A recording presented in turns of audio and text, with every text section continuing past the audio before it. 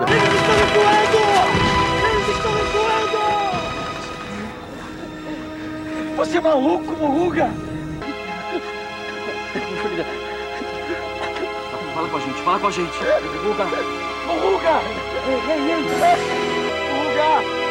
Moruga! Então vamos todos morrer aqui? Qual é a ordem então, tenente? Recuar. Não. Nós não estamos fugindo. Do jeito que ele foi levado por aqueles enfermeiros, eu temo que esteja morto.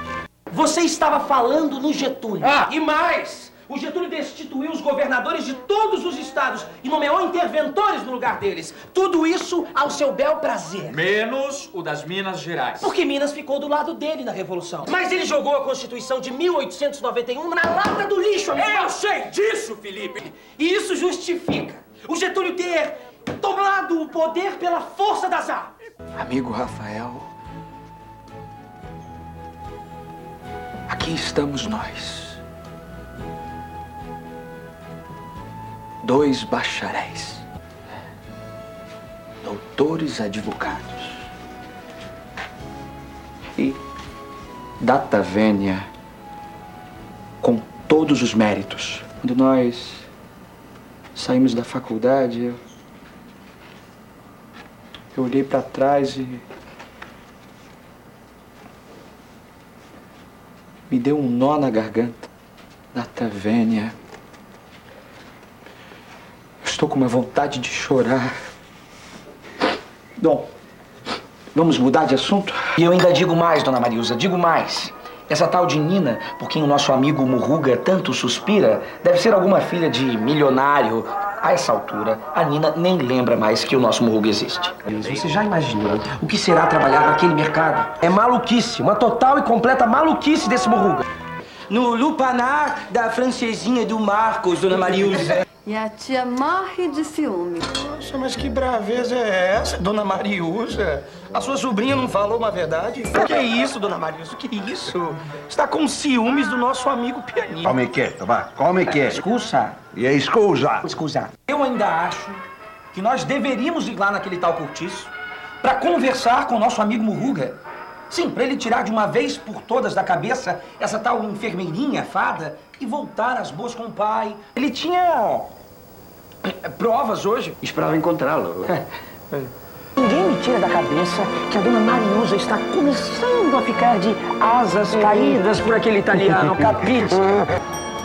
Mas o italiano só tem o pensamento no filho. Então eu vou começar pelo começo. Não, não. É melhor começar pelo fim.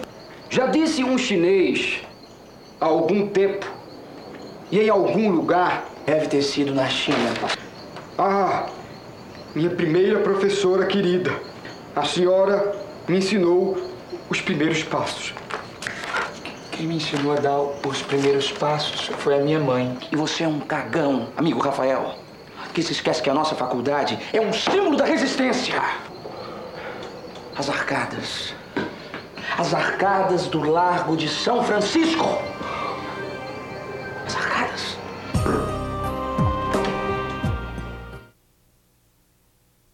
Rodrigo!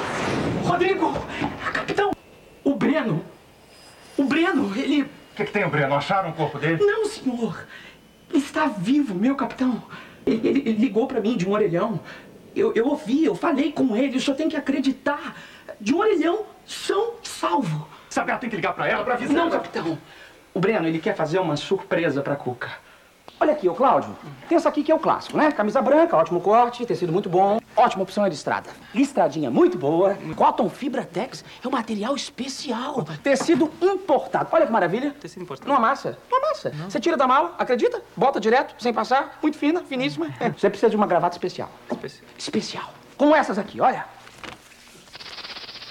Tudo seda italiana. Classuda. Muito classuda, finíssima. Você vai ser o homem mais elegante dessa festa.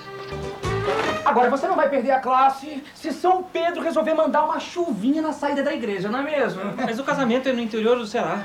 Lá não chove há muito tempo. Ah, Pense por outro lado. Se não chove há tanto tempo assim, pode cair um dilúvio a qualquer momento.